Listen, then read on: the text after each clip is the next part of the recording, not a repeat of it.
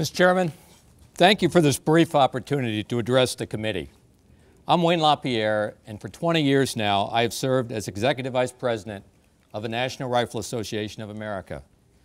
The NRA is the largest and most active firearms rights organization in the world, and I'm proud to defend the tens of millions of lawful people NRA represents. This present effort for an arms trade treaty, or ATT, is now in its fifth year. We have closely monitored this process with increasing concern. We've watched and we've read, listened and monitored. Now we must speak out. The right to keep and bear arms in defense of self, family, and country is ultimately self-evident and is part of the Bill of Rights of the United States Constitution. Reduced to its core, it is about fundamental individual freedom, human worth, and self-destiny. We reject the notion that American gun owners must accept any lesser amount of freedom in order to be accepted among the international community.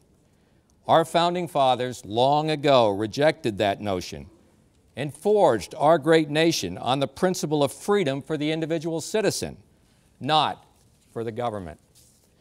Mr. Chairman, those working on this treaty have asked us to trust them, but they've proven to be unworthy of that trust.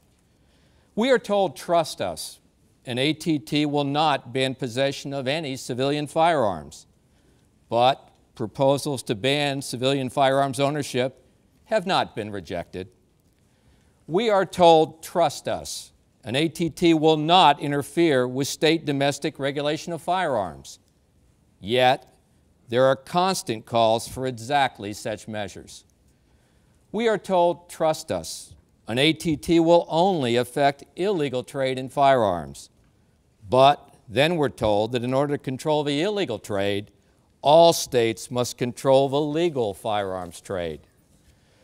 We are told, trust us, an ATT will not require registration of civilian firearms. Yet, there are numerous calls for record keeping and firearms tracking from production to eventual destruction. That's nothing more than gun registration by a different name. We are told, trust us, an ATT will not create a new international bureaucracy.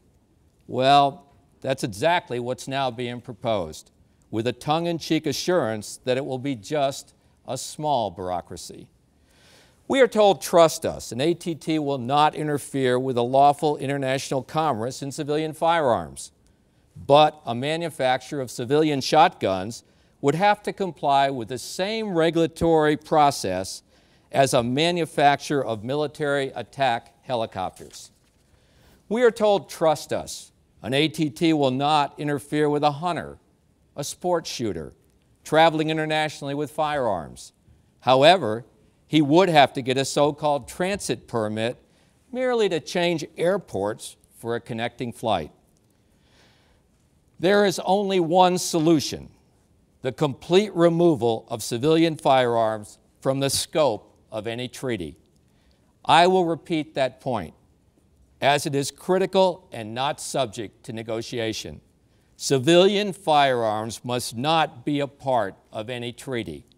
On this, there can be no compromise. American gun owners will never surrender their Second Amendment freedom. The proposals include endless demands for record keeping, oversight, inspections, supervision, tracking, tracing, surveillance, marking, documentation, verification, paper trails, data banks, new global agencies, and data centers. Nowhere, nowhere do we find any thought about respecting anyone's right of self-defense, privacy, property, due process, or observing personal freedoms of any kind.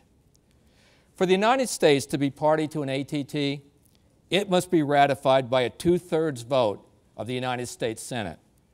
Some do not realize that under the U.S. Constitution, the ultimate treaty power is not the President's power to negotiate and sign treaties, it is the Senate's power to approve them.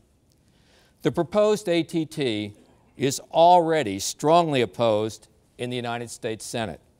the very body that must approve it by a two thirds majority.